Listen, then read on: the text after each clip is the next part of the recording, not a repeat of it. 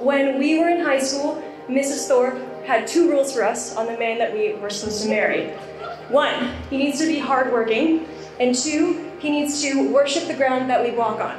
In 2016, when you both started dating, it was only four months into the relationship, and I had started hearing about this guy. I was like proud of her. You were going to be gone for 80 to 90 days, and Andrea shared with me that you wrote a postcard for every day that you were gone with one new thing that you loved about her. And for that's 80 things. I don't know if I could do it. I'll try. but that was amazing. And the moment that I heard that story, I knew that I was going to know you forever because you were going to be a part of her life forever. And that was the only kind of person I ever wanted by her side.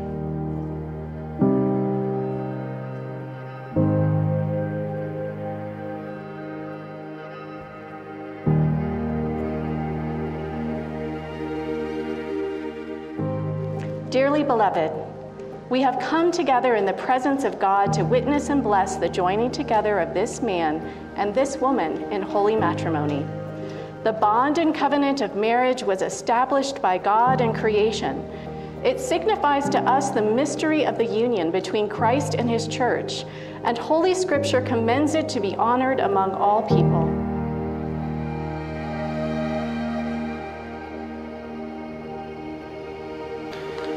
The earliest memory I have of Chris would be uh, fourth grade when we got told we were going to be in the same class and screamed so loud that all the teachers looked at us. And then we ended up being separated. uh, since then, um, me and Chris have been through everything, and I've learned a lot about him and his loyalty and how good of a person he is. And when I met Andrea for the first time, I saw all that in her as well, and uh, that's how I knew they were going to be a perfect couple together. Lovely. Thanks. Look lovely. Christopher, will you have this woman to be your wife, to live together in the covenant of marriage? Will you love her, comfort her, honor and keep her, in sickness and in health, and forsaking all others, be faithful to her as long as you both shall live? I will.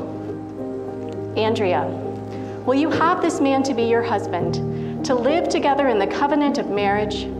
Will you love him, comfort him, honor and keep him, in sickness and in health, and forsaking all others, be faithful to him as long as you both shall live?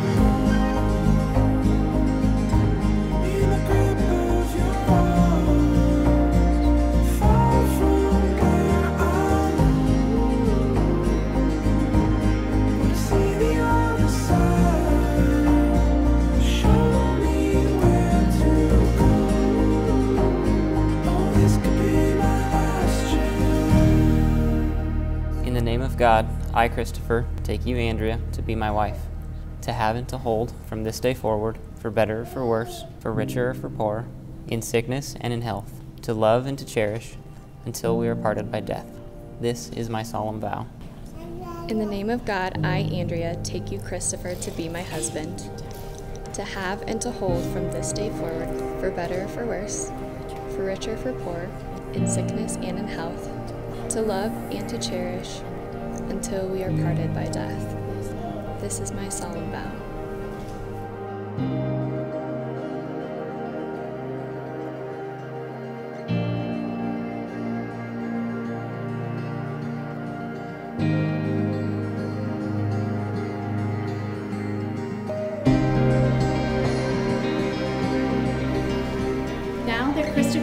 Have given themselves to each other by solemn vows, with the joining of hands and the giving and receiving of rings, I pronounce that they are husband and wife, in the name of the Father, and of the Son, and of the Holy Spirit.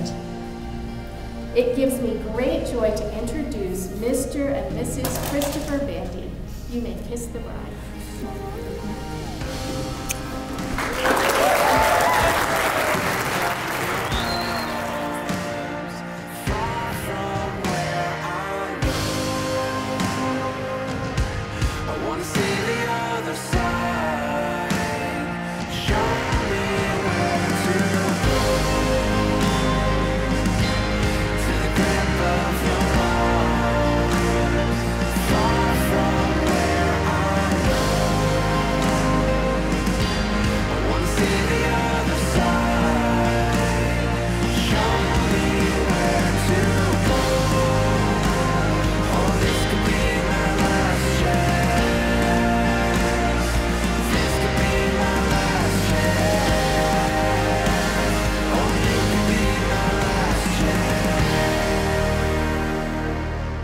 Five and a half years ago, or 2,035 days ago, uh, we met Andrea uh, and instantly fell in love with her too. Honestly, we've said many times that if we could have handpicked the perfect woman to support, love, and partner with Christopher for life, we would have chosen Andrea. We are so blessed to welcome Andrea officially into our family, as she has already been in our family, in our hearts. Andrea, you are so lucky to have found Chris. And Chris, you are so lucky to have found Andrea. The good thing is, and you should feel good about this, and everybody should feel good, good about this. She knows what she wants, and she picked you. So let's toast the bride and groom. To Andrea and Chris, may you always appreciate unique qualities in one another. And may you have a enduring, joyful marriage together. Cooling